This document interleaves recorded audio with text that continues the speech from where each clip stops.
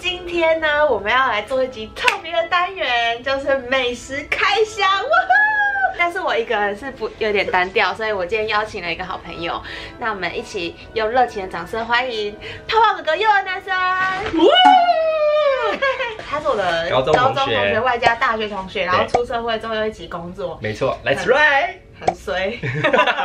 今天想要跟大家分享，就是试吃什么东西呢？试吃什么？盐加蜜饯。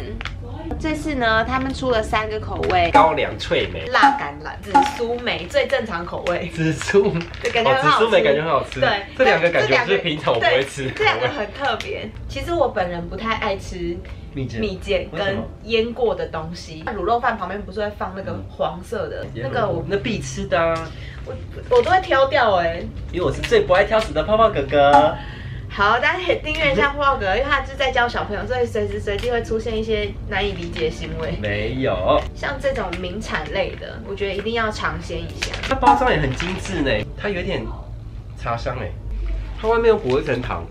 对，它外面是糖粉，一般吃这种啊，它会有一点就是外壳都会硬硬的，然后会不好吃。它感觉很新鲜、对，欸好像是刚从瓮里面拿出来就拿出。来，然后有点水分在。对，，然后软软的，虽然裹的糖粉，但它不会超甜，不会腻，因为很多吃了一颗，你不想吃第还二颗。还是还是因为它本身是酸的，这个我推荐，这个蛮好吃的。这个蛮好吃它里面是它的皮是软的欸蛮刷脆的。那我们来吃第二个口味，哦，这感觉很辣，感觉吃完就是。嘴巴都会红红的。不知道那橄榄是什么样的烤比？来来来，哥哥，你先尝，您先尝啊！你你还不给想吃？你一个最大颗的啊！啊，就橄榄的味道，我觉得还好。然后，但是我现在有一点全身发热的感觉，就是通体舒畅。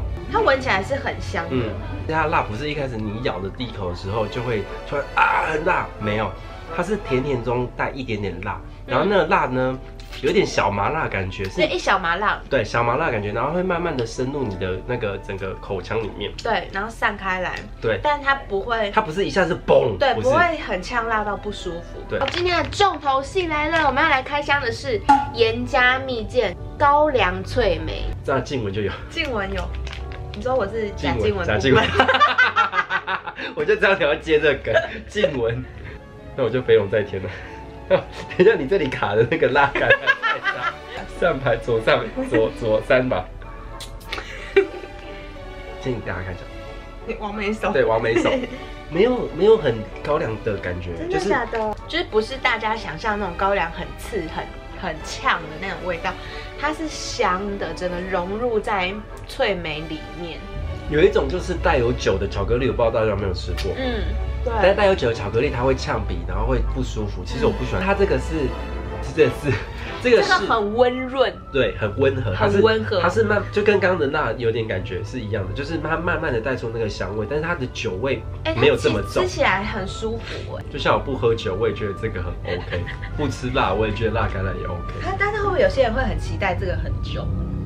就是酒味很重。，对，有些人很喜欢。其实它闻起来酒味很，就是蛮蛮闻起来是蛮有酒味，蛮有酒味的感觉。就是因为它是烟，它已经跟那个脆梅就是融合在一起。对，谢谢阿姨既然那么特别的谢谢蜜饯，让我们品尝了那个就是高粱酒口味，赞。没错，事情是这样，就是小时候呢，有个邻居阿姨，然后现在搬去金门住了。她现在在金门做生意，金门最大家的陶瓷工厂是他们他们家开的。去年我还有去金门拍了一个 vlog，大家可以去看一下就是可以欣赏一下那美丽的风景跟陶瓷博物馆等等。那会建议去金门吗？我觉得人生可以去一次看看，你才会发现说，哇，原来金门长这样我。还没有去过。